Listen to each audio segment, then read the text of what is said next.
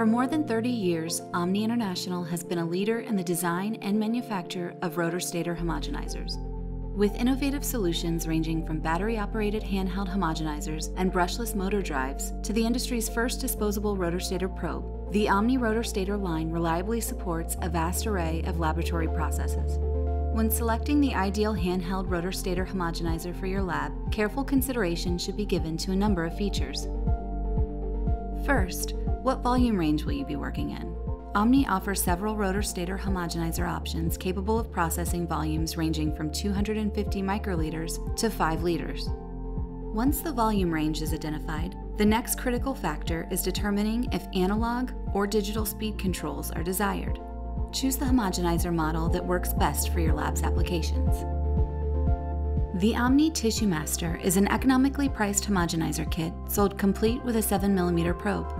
The Tissue Master incorporates variable analog speed controls and can process samples in up to 100 milliliters of volume. Designed for occasional use, the Tissue Master is an ideal solution for labs on a budget.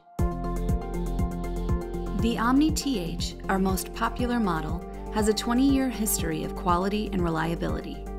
The TH features 150 watts of processing power and a variable speed switch to reliably process virtually any sample up to 100 milliliters in volume.